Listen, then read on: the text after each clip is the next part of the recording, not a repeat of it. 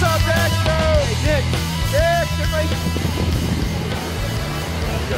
This is Ashley Hume with Hollywood.tv, and we're here at Bardo in Hollywood for the Nylon Magazine Party. We got a chance to talk to most of young Hollywood who came out to celebrate the magazine's May issue, so be sure to check it out. First of all, I have to ask you, how does it feel to be on the cover of Nylon? So amazing. I love the magazine, so to get to be on the cover is such an honor, and um, I just, I'm so thrilled. And I was overhearing just a little bit about Scream 4 because I actually didn't know. Did you just give it away there? I totally did because it's out and I'm allowed to, aren't I?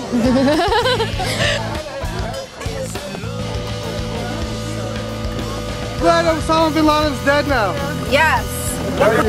Hey, so what do you think about Osama bin Laden getting finally captured and killed? It's, it's good when, you know, I, there's that Martin Luther King quote that is misquoted that's circulating around that says, you know, it's basically, it's not good to celebrate death in any form, but also there's the part where he was a killer. So, yeah, sorry.